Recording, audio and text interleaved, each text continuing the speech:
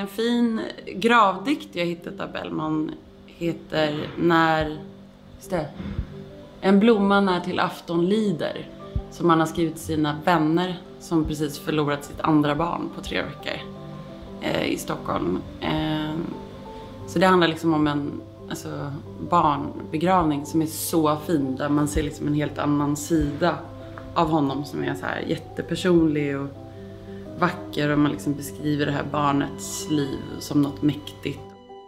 Den låten de flesta har hört är väl Epistel 81, alltså Märkhuvud och skugga. Och den tycker jag är en bra inkörsport. För att den är så här kommersiell och någon slags hit.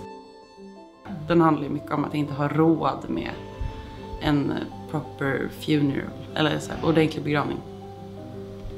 Eh, den handlar också väldigt mycket om att så här, supa ihjäl sig i Stockholm, vilket många av hans låtar handlar om. Ack, varför en usel koja, som handlar om en så här stor brand i Stockholm. Den är svincool i pjäsen. Första metal-låten.